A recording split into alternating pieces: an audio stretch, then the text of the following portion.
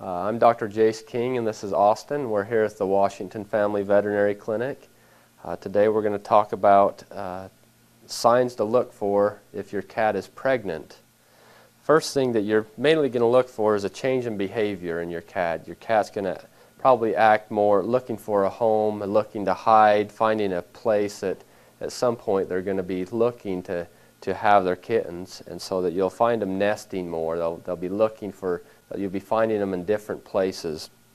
Things you want to look for on your cat, though, are, are looking right here in the abdominal area and looking for a distension of, of, of this, uh, this abdomen.